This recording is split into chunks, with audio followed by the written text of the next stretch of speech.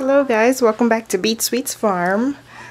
Today is day 7 of these quail eggs being in the incubator.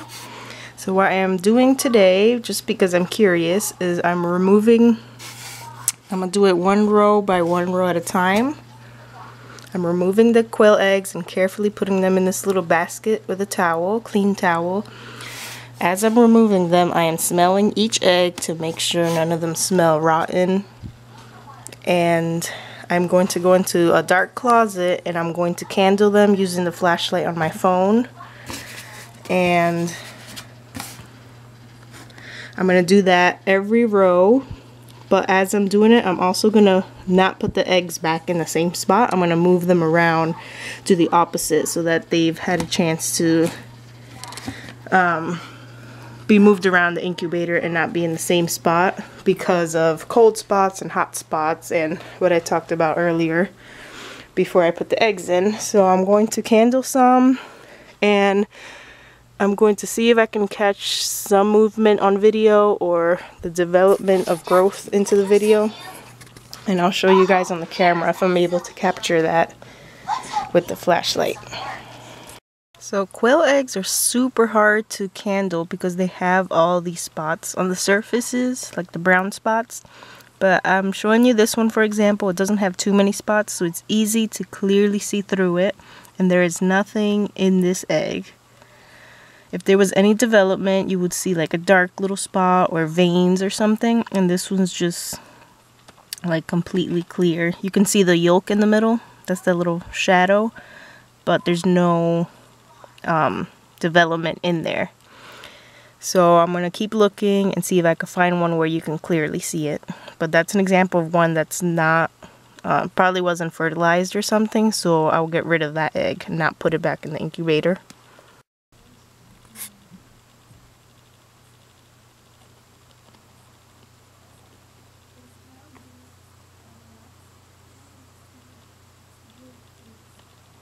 Having a hard time catching it on video. But this one you can see it's more solid inside.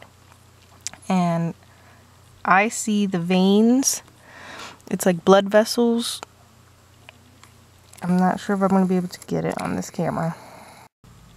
Here's another one that doesn't have anything inside of it. For some reason the camera's catching these, but not the ones that have something growing inside. But here where you don't see the brown spots, um, it's like a glowy green because of the flashlight behind it. But there is no veins, no lines, nothing in there. It's just green all the way through. So that one doesn't have anything. Here's another one that I believe has something in it. I can't see the veins. It's a little bit darker. But you can see that most of the egg is solid and there's only a little airspace at the end and it doesn't smell bad so I don't think it's rotten. I think there's something in there. You can easily tell the difference between when there's something going on in there and there's not.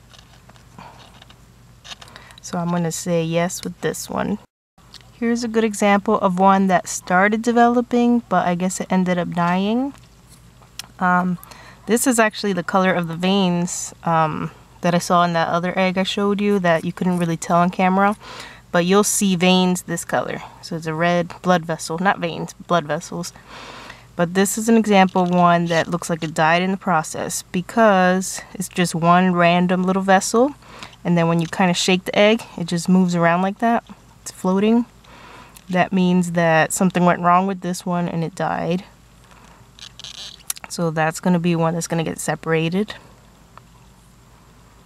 I'm going to keep checking them.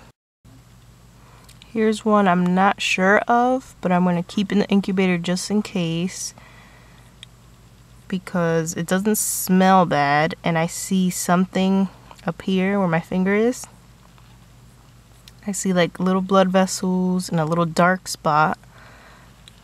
But then the rest of the egg, I can't really tell. It looks kind of see-through. But there is something going on right here by this little brown spot. So I'm going to keep that one just in case. Here's a good one where you can see the veins clearly I was talking about. So there's definitely life in that one. I'm going to keep that one for sure. And you can clearly see the little vessels running around through it. So there's something growing in there. This is another example of one that looks like it's maybe started developing, but it died. And it has like what they call the ring of death. Mm, I can't see it on here. But if you see a red vessel going all around the diameter of the egg, um, that means that the development has stopped and it died. I can't, oh, I almost saw it.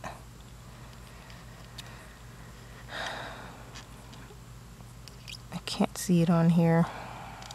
So I put all my eggs back that I wasn't sure that they were completely empty.